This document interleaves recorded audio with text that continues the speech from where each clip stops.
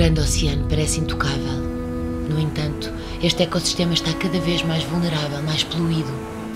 O plástico é uma das maiores ameaças que o planeta enfrenta.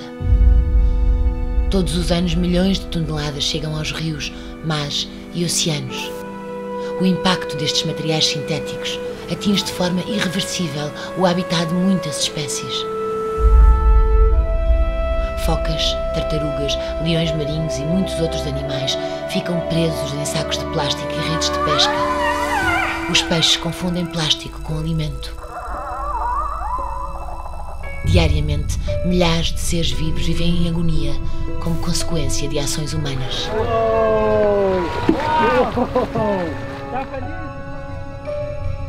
Os oceanos estão a sufocar com toxinas e, no entanto, são eles que produzem parte do oxigênio que respiramos.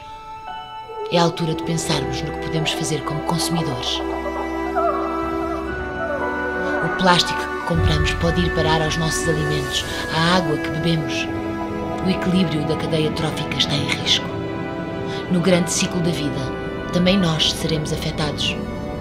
A vida humana depende da saúde dos rios, mares e oceanos. Até quando vamos ficar